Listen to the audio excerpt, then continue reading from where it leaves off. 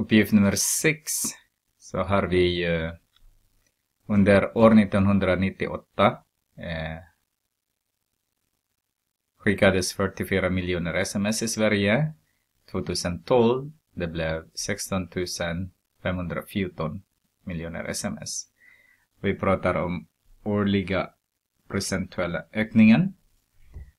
Eh, antal sms per år har varit lika stor under hela tidsperioden. När man pratar om årliga procentuella ökningen så pratar vi om eh, exponentiell funktion. Och det ser, ser ut hela tiden så här. C, I är lika med C multiplicerat med A upphöjt till X. Beteckna den årliga förändringsfaktorn med A. Teckna en ekvation med vars hjälp A kan beräknas.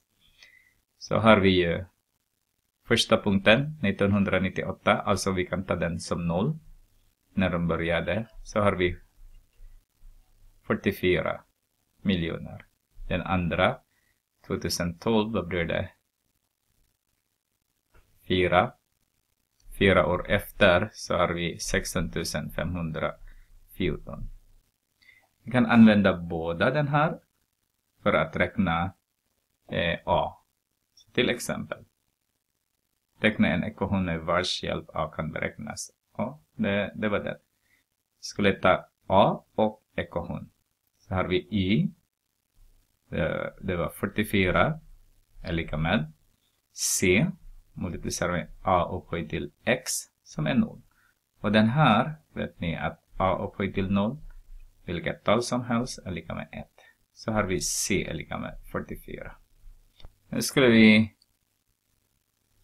använda det nästa.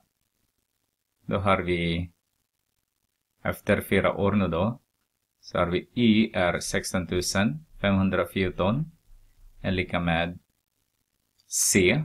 Då har vi 44 multiplicerat med A upphöjt till 4. Beteckna den årliga förändringsfaktorn med A. Den har vi gjort redan.